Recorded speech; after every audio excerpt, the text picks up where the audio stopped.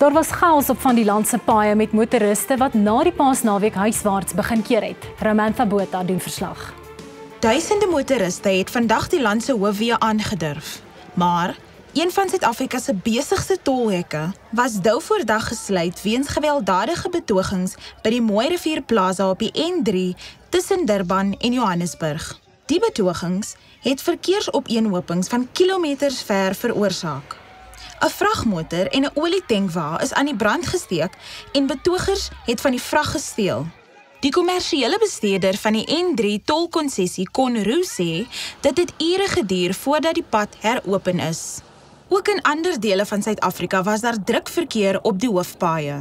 Verskeie noodlottige ongelukke het plaasgevind. Amptelike statistieke sal eers later beskikbaar wees. MUZIEK